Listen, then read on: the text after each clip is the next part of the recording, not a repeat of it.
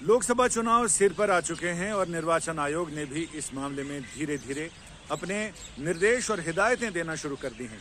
निर्वाचन आयोग का ताज़ा हिदायत पत्र आया है, जिसमें ये कहा गया है कि राजनीतिक दल और उम्मीदवार चुनाव प्रचार, रैलियों या किसी भी तरह के उसमें चुनाव प्रचार कार्य में बच्चों का इस्तेमाल नहीं कर सकते हैं। बच्चों का इस्तेमाल करना बाल श्रम निषेध अधिनियम का उल्लंघन है और ऐसे में आगे आने वाले चुनाव में आपको नारे लगाते हुए, पर्चे बांटते हुए, पोस्टर चिपकाते हुए, झंडे लेकर चलते हुए या किसी भी जुलूस, किसी भी जल से, किसी भी राजनीतिक रैली का हिस्सा बच्चे नहीं दिखाई देंगे।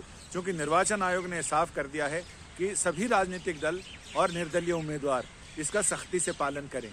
क्योंकि किसी भी तरह से इसे बर्दाश्त नहीं किया जाएगा और आयोग ने कहा है कि बच्चों का इस्तेमाल इस तरह की चीज़ों में वो अक्षम्य है। उन्हें क्षमा नहीं किया जाएगा, उनके खिलाफ कार्रवाई की जाएगी। ऐसे में सबको हिदायत दे दी गई है। तमाम जिला निर्वाचन अधिकारियों, रिटर्निंग अफसर, चुनाव में जुड़े तमाम लोग जो चुनावी गतिविधियों पर निगाह रखते हैं, उन्हें कहा गया है कि वो व्यक्तिगत रूप से इन सारी चीज़ों पर निगाहदारी रखें। अगर कोई ऐसी चीज़ हो रही है तो तुरंत उस पर एक्शन लें। उनको नोटिस जारी करें, उनसे जवाब मांगे और उनके खिलाफ जो भी सख्त सख्त एक्शन लिया जा सकता है, वो किया जाए। आयोग ने यह भी कहा है कि चुनावी रैलियों, भाषणों और बाकी प्रचार माध्यमों पर कविता, कहानी, बयान, भाषण, किसी भी तरह से ये देखा जाए कि विपक्षी, यानी जो आपका प्रतिद्वंद्वी है, उसके खिलाफ व्यक्तिगत हमला ना हो, उस पर व्यक्तिगत हमला ना किया जाए। चरित्र हनन का ना करने के बारे में संवेदनशील रहें। और आयोग ने यह भी कहा है कि इन दोनों मसलों पर आयोग पूरी तरह से संवेदनशील है और ये उम्मीद करता है कि निर्वाचन में जुटे हुए तमाम लोग, जो निर्वाचन में जिनकी हिस्सेदारी है, वो सारे लोग एक तो व्यक्तिगत स्वतंत्रता व्यक्तिगत सम्मान व्यक्तिगत मर्यादा का ध्यान रखेंगे और दूसरे बाल श्रम के ऊपर उनकी तमाम निगाहदारी होगी क्योंकि कार्यकर्ता तमाम वयस्क होंगे।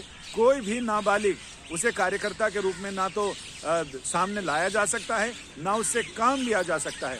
लिहाजा आगे आने वाला चुनाव इस मामले में बिल्कुल सही रहेगा क्योंकि उम्मीदवार जब साथ साथ चलते हैं ढोल नगाड़े बजते हैं तो बच्चों को भी नारे लगाने के लिए साथ लेकर चलते हैं या फिर उनसे पर्चे पकड़ा देते हैं उनके हाथों में और उन्हें थोड़ा सा कुछ खाने पीने को देकर उनसे वो सारा काम कराया जाता है। ये चाहे गुड फेथ में हो रहा हो, लेकिन आयोग ने इस पर ये साफ़ कर दिया है कि ये नाकाबिले बर्दाश्त है, ये अक्षम्य है, लिहाजा ऐसा करने वाले कार्रवाई के लिए तैयार रहें और फिर या सतर्क सतर्क और सजग रहें, संवेदनशील रहें। संजय शर्मा, दिल्ली से चुनाव आज तक के लिए।